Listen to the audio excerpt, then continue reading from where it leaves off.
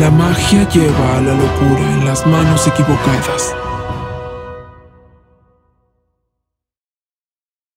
Te lo advierto.